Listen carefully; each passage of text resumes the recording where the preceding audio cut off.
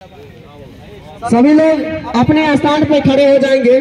जो भी बैठे हैं, मैं निवेदन करूँगा कि अपने स्थान पर खड़े हो जाएँ। राष्ट्रगान को